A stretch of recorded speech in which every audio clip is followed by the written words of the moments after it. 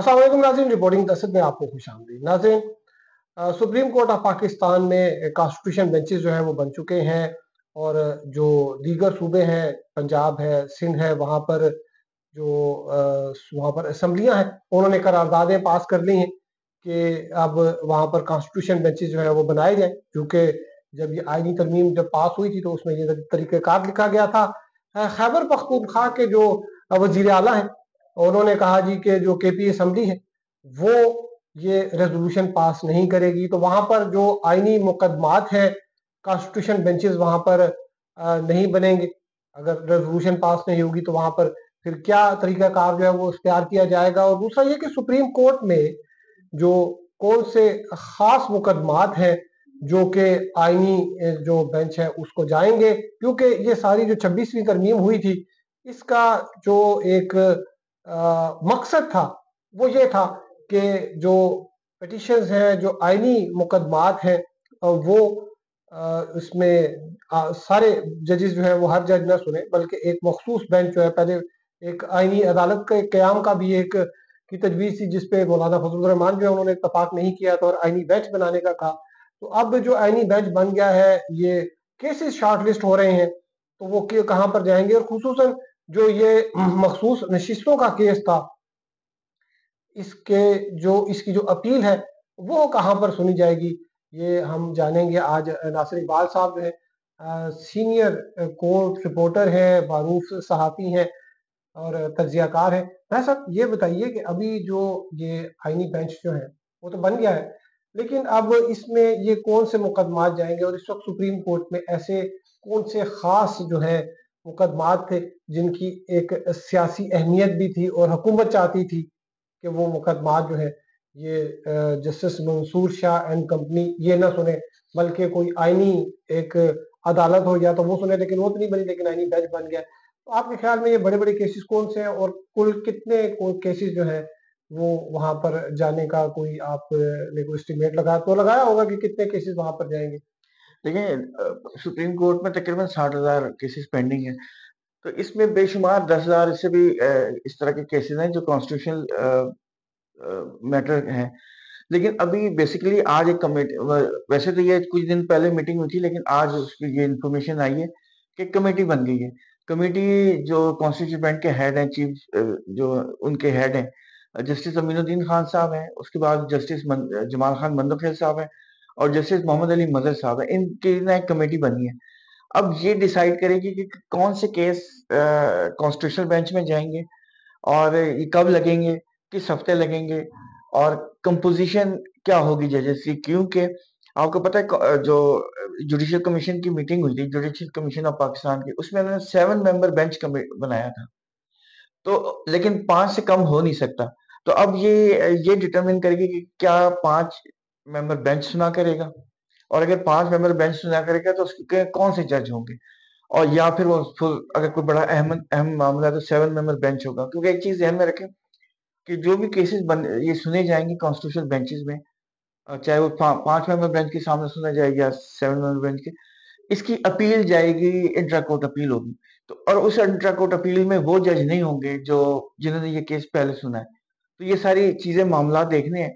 تو ابھی اگلے ہفتے اب ان کی کوئی میٹنگ ہوگی اور اگلے ہفتے کا روسٹر بن جائے گا۔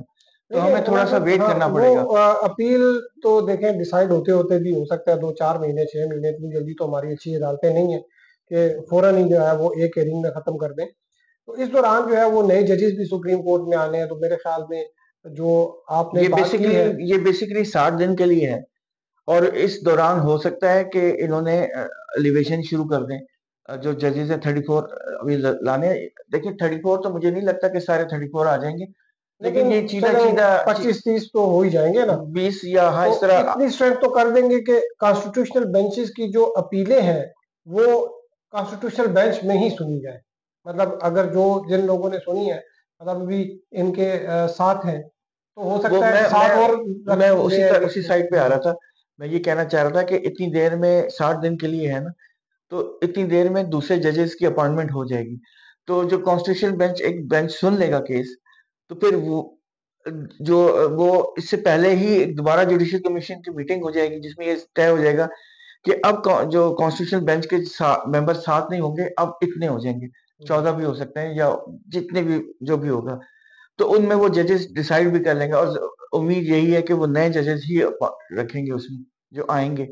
تو ظاہر ہے اس کی اپیل جائے گی تو کانسٹیٹیوشن بینچ ہی سنے گا لیکن وہ ججز نہیں ہوں گے جنہوں نے یہ کیس پہلے اچھا سنا ہوا۔ صاحب وہ سنے کہ وکلا کو بھی ڈائریکٹ جو ہے وہ ایلیویٹ کریں گے اس کے لیے۔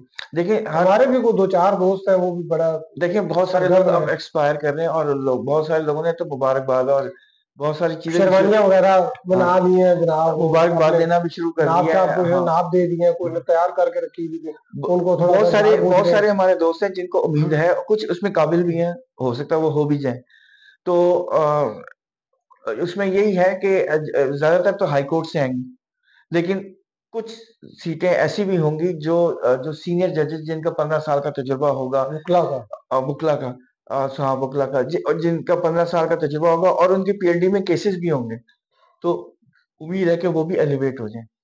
تو یہ تو ان کے لیے ایک بڑی لاٹری نکل آئے گی کہ وہ ڈائریکٹلی ایک بار بات ہوں جو اچھے وکیل ہیں نا جج آئیں گے تو ان کی تنخواہ کتنی ہوگی؟ اب انہوں نے دس گیارہ لاکھ بڑھا دی ہے نا سر تو تنخواہ تو ٹھیک ٹھاک ہوگی۔ پچیس بیس پچیس میں کل ایک میں ڈیٹا لوں گا کہ کتنی تنخواہ پہلے تھی۔ ٹوٹل ٹیک ہوم سیلری اب کتنی ہوگی یہ میں خیال پچیس سے اوپر جائے گی میں پچیس سے اوپر ہائی کورٹ کے جج کی پچیس سے اوپر ہو گئی ہے سپریم کورٹ کی تھوڑی سی زیادہ ہوگی لیکن جو اچھا جج جو وکیل ہوتا ہے نا اچھا وکیل وہ پچیس لاکھ تو ایک کیا ایک ہفتے میں کما لیتے ہیں ہاں وہ تو ایک کیس میں پچیس لاکھ روپے کیونکہ میں نے دیکھا ہے کہ جو بڑے وکیل ہیں وہ تو لاکھوں میں فیس نہیں لیتے. کروڑوں میں وہ تو کروڑوں میں فیس لیتے ہیں. اور کروڑ بھی جو ہے وہ چار پانچ کروڑ سے کم نہیں لیتے ہاں۔ ہیں فروغ نسیم صاحب ہیں مخدوم علی خان ہیں.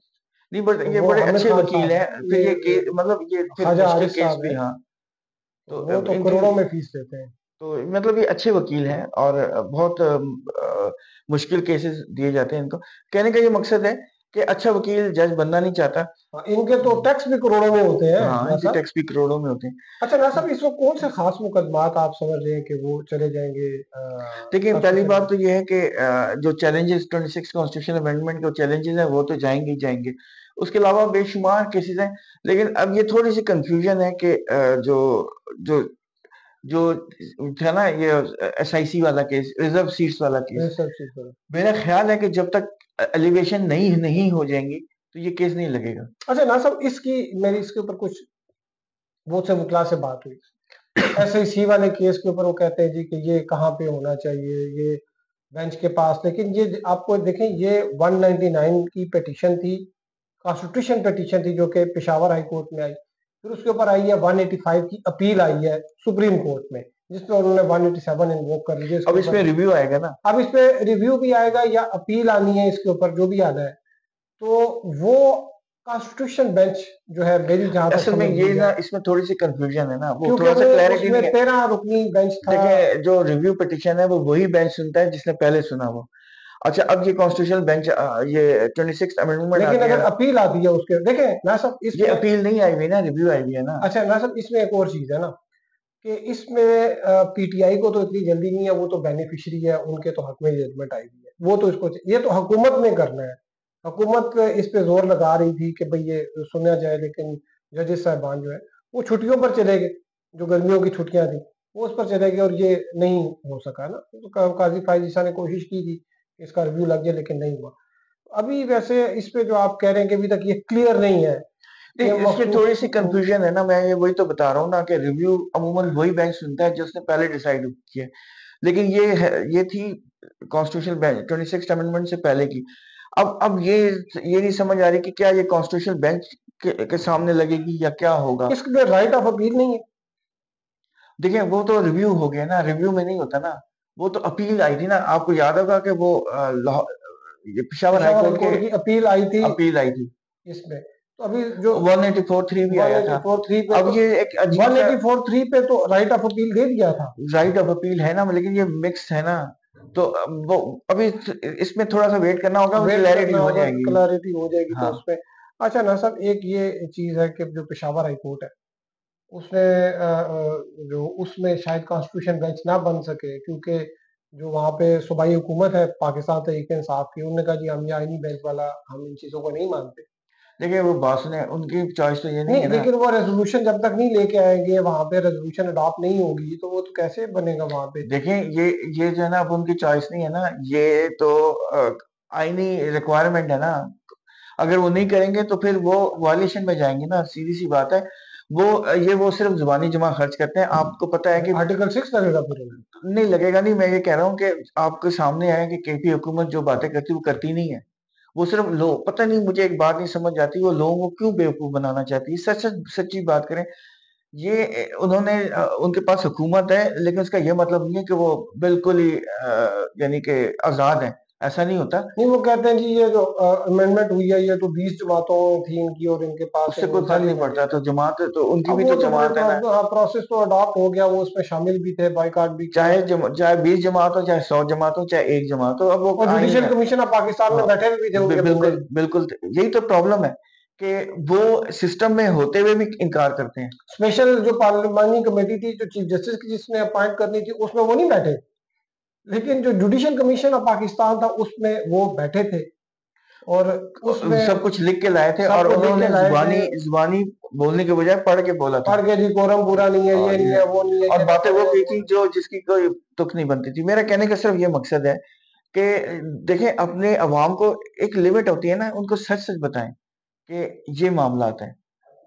اور یہ کیوں ان کو دیکھیں کرنا تو ان کو پڑے گا۔ اور وہاں کی جو اپوزیشن ہے انہوں نے کہا ہم کروائیں گے ریزولوشن یہ کیسے نہیں کرتے؟ تو ظاہر ہے اب وہاں کی جو اپوزیشن ہے ان کی بھی تو حیثیت ہے نا۔ لیکن ان کی اتنی تعداد تعداد نہیں ہے لیکن وہ اسمبلی میں شور تو مچاتے رہیں گے نا۔ وہ بار بار بات کریں گے۔ یہ ریکوائرمنٹ ہے نا کانسٹیٹیوشنل ریکوائرمنٹ ہے نا یہ اپنی مرضی کی بات تو نہیں ہے نا۔ لیکن وہ جب تک وہ نہیں آتی تو آئینی مقدمات جو ہے وہ اسی طرح سنتے تو لوگ سفر کرتے رہیں گے۔ لوگ سفر کرتے رہیں گے ان کو تو اس کی پرواہ بھی نہیں ہے نا۔ سب سے بڑا پرابلم یہ ہے کہ ان کو اس اپنے عوام کی بالکل پرواہ نہیں ہے جو کے پی کے لوگ ہیں وہ بیچارے وہاں کے ایشوز ہیں جابس کے مسئلے آ رہے ہیں۔ ہر قسم کے روز ایک پرابلم ہو رہی ہے لیکن ان کے یہ مسئلہ ہے نہیں۔ وزیر اعلیٰ بھی اتنا اچھا انہوں نے بنا دیا۔ تو نا صاحب جو اسلام آباد کے ہیں نا یہاں پہ کانسٹیٹیوشن کے کیسز جو ہیں اور وہ بینچز کی تشکیل وغیرہ اس کے اوپر تھوڑی سی انفارمیشن میرے پاس آ رہی ہے۔ تو اس کے اوپر ہم پھر دوبارہ جو ہے وہ پروگرام کریں گے۔ تو ناظرین آپ کو ہم اپڈیٹ کرتے رہیں گے۔ اب تک کے لیے تو حماست رہنے کا شکریہ، اللہ حافظ۔